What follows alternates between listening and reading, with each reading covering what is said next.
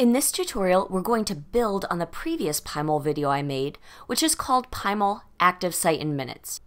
Now, you might be sitting there eating a sandwich or passively wanting to watch a Pymol video, but the best way to learn this is to open a Pymol window yourself and work through with me pausing when you need a minute to type commands and sort through things. So I highly recommend that, and let's get to it.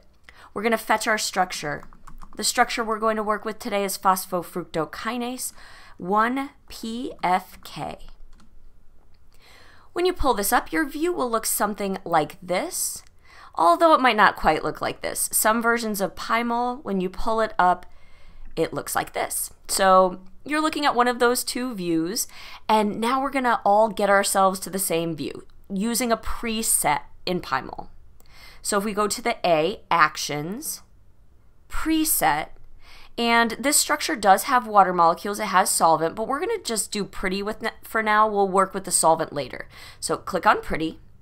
And now we should all be looking at this nice little cartoon rainbow with our ligands shown as sticks. So that's a pretty nice place to start. Let's reorient this structure a little bit so we can kind of see it, make it look nice. Yeah, I like that. Um, and let's store this as our first scene. So scenes are up here. You can store up to 12 just using the um, drop down menus over here. Or we can type scene 001 store, comma store. Um, and that will give us a scene which shows up right here. Now, I think by typing this, you can store many more scenes than 12, so that's nice if you really want to get going with a complex structure and have lots of scenes to move around in. Now let's display our sequence. And I'm actually using a trackpad. I don't use a three button mouse like a lot of people like to for Pymol. I got really good at it on a plane. So I'm going to put this in one button viewing mode and I'm just using my trackpad. I can um, use the control option and command buttons to do different things and I can zoom by just using my trackpad squeezing my fingers in and out. So um, here's our sequence. Notice it starts off dark blue so we're starting off here. And as we scroll through you can see the color changing which corresponds to the rainbow of this protein. As we scroll, we see all of our one letter codes for our two polypeptide chains of this dimer, which ends at the red over here. And then we have a bunch of ligands, so they're separated out, and then all of our water molecules. I find it useful to have a selection which is just my protein. And so I'm going to click on the end, the uh, C-terminal amino acid residue here, come all the way to the beginning, press shift and click, and now I have all the amino acid residues selected, and I'm going to rename this selection to protein so that I could operate on the ligands and the protein separately if I need to later. Uh, click somewhere on the black just to click away.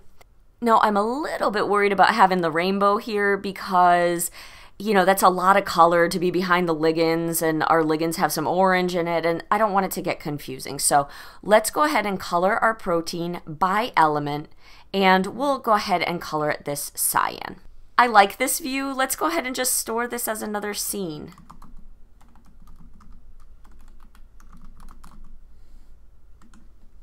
And now let me show you what the scenes are doing. So we're going to click here. We get our different colors. So scenes are storing the color. And as we'll see in a bit, they'll store the orientation for us as well. This is really helpful because you might have noticed Pymol doesn't really undo things very well. So when you make a mistake, you really sometimes end up starting back from scratch. So this is going to save us a lot of trouble as long as we're storing our scenes whenever we make a good one. Okay, now I want to show an active site. I want to identify an active site. We have a dimer here and we have a lot of ligands bound to it. So let's scroll back down to our ligands. And I just want to focus in on one active site, maybe this top one up here. Let's see. Okay, so I clicked on this. These are the um, reaction products. So it says so in the title here. So this is fructose 1,6 bisphosphate right here. And now we want to identify all the other ligands in this active site. You can see we have other ligands kicking around here. So let's click on this magnesium. Oh, I can just barely see it lighting up. Let me zoom a little bit for you. And on my Mac, I'm going to click Option and click, and that allows me to move my structure. So you see it right here. So this one is in our active site that we want. Let's click on this one. Well, maybe I need to zoom out just to see where everything is now. Oh yeah, this one is lighting up over here, so that's not one we want. Oh, that ADP is here. Okay, let's just check the others. Yeah, these are all in different parts of the protein. So this is this selection now, these three things that we've clicked have come up as this selection. And let's rename this to ligands. So actions, rename selection, delete that SELE over here, and type ligands. Great. I think you're really going to like this next command. So last time I had you showing the residues around the ligand, but we're going to be able to make a selection in one quick command. So this is the command, select active. That will create a selection called active by residues, all within five angstroms of, and this is our selection name. So whatever you called this, if you decided to call this something besides ligands, you just change your selection name here. So let's execute this and bam, we've got all the residues within about five angstroms. This catches all of our hydrophobic interactions and uh, definitely our ionic and hydrogen bonding. So that's that's a pretty good active site. So let's show the sticks for the active site, and then let's zoom on the active site. Now, sometimes I like to get a little contrast between these residues and the cartoon.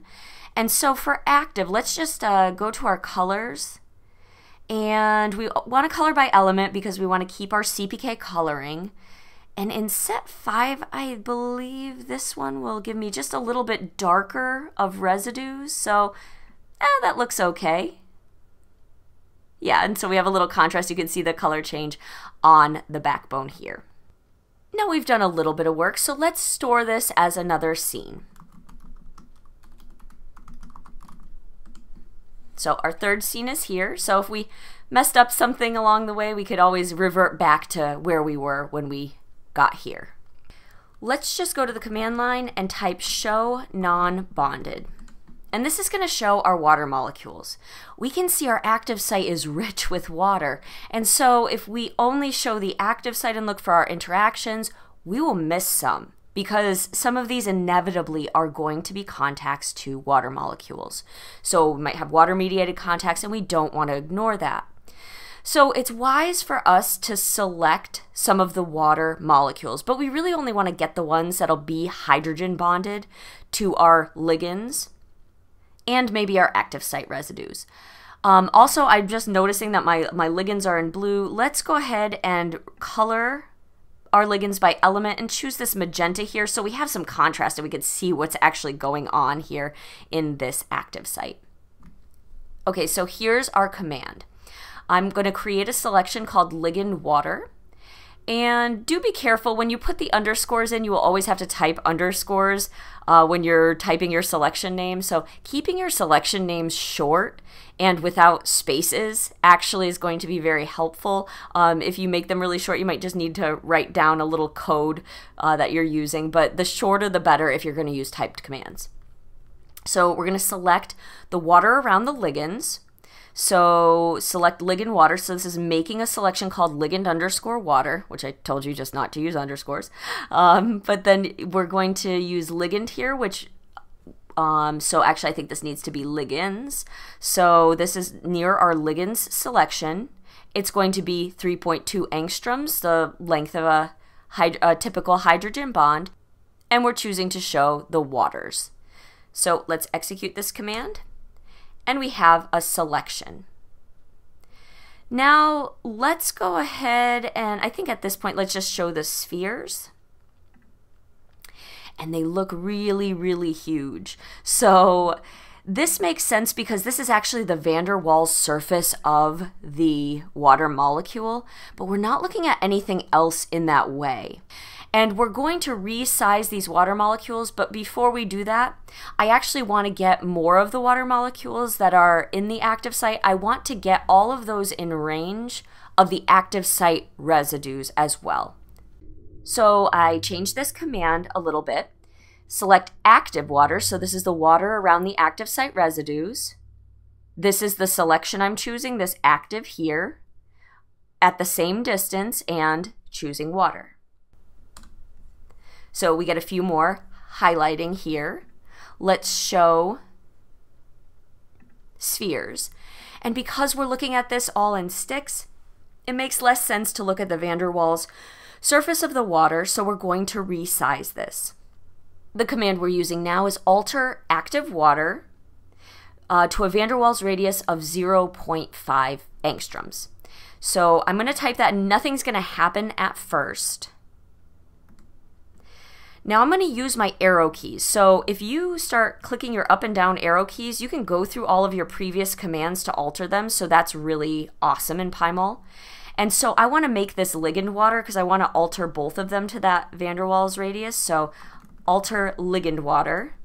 And then we need to type rebuild to actually make the water molecules resize. So that's important to do at the end. Okay, let's zoom in a little and look around.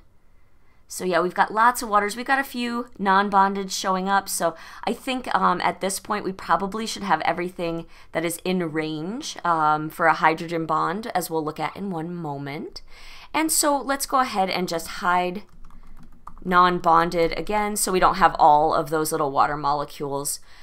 Okay, remember we had a magnesium in our active site. So that's right here.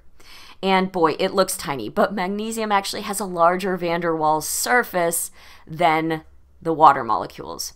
Let's just click on this to select it, and I'm going to rename it to magnesium. And now let's resize this. So we're going to do a similar thing. Um, so we can go back to this command. We're doing the similar resizing that we did to the spheres of the water. So let's change ligand water to magnesium. And it's, it's bigger. It has a larger van der Waals surface. So let's just make this one. And so we've modified the one atom. Type rebuild. And we need to, this is showing, I don't know what the representation here is with, with the pretty preset, but let's show the sphere. And now that's a nice size. It shows that it's a larger metal ion and uh, it's surrounded by these water molecules. And you can play with these sizes if you don't like how this looks. You can make the water a little bit um, smaller. All you need to do is change this right here and we could uh, resize things. So if you don't like how this looks, that's fine. Go ahead and do something better. Okay, now I think we've done a lot of work. I think this looks pretty, pretty good. Let's get all the ligands in view. And let's store this as a scene.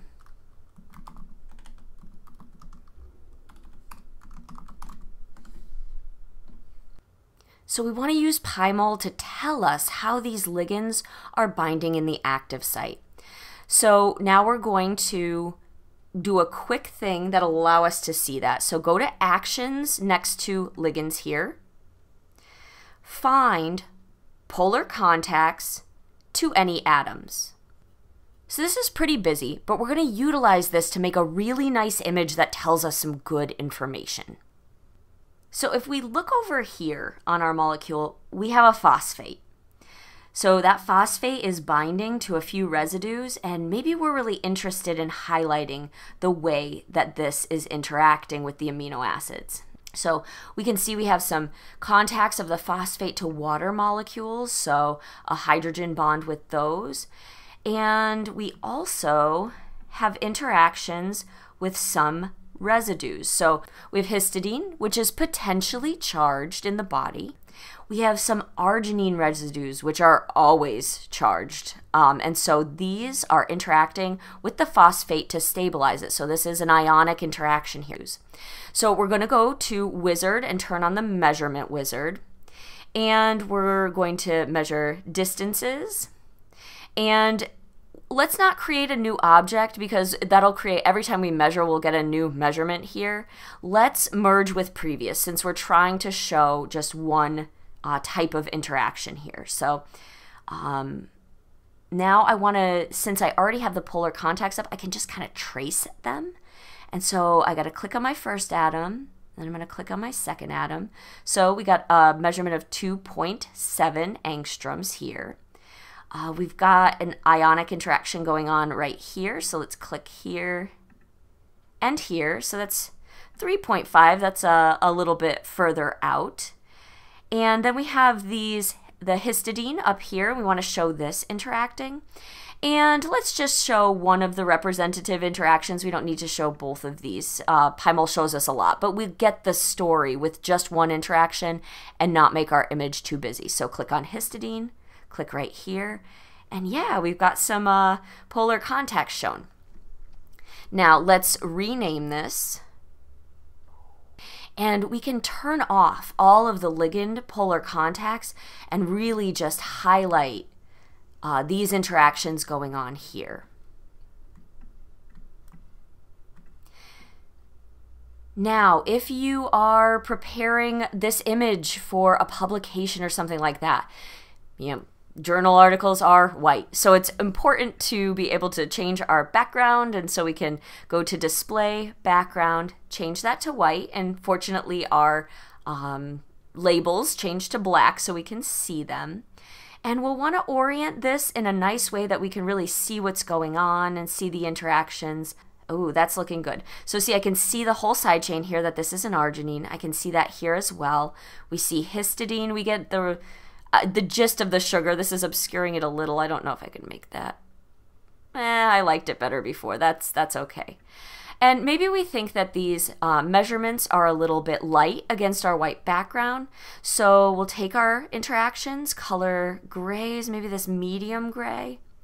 This is a really nice image and I don't want to lose it. So we're going to store it as a scene.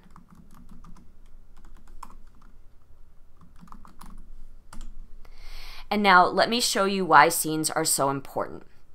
So, you know, the, we all have this moment. We're going to recolor something. Maybe we're like, oh, magenta doesn't have a good contrast with the red, so I should recolor my ligands. But somehow you end up, or maybe you want to recolor the protein, and you end up just like one thing above. This is so small. So we go to 1PFK and say, oh, I'm just going to color my ligands all one color for right now. I'm not going to use CPK coloring.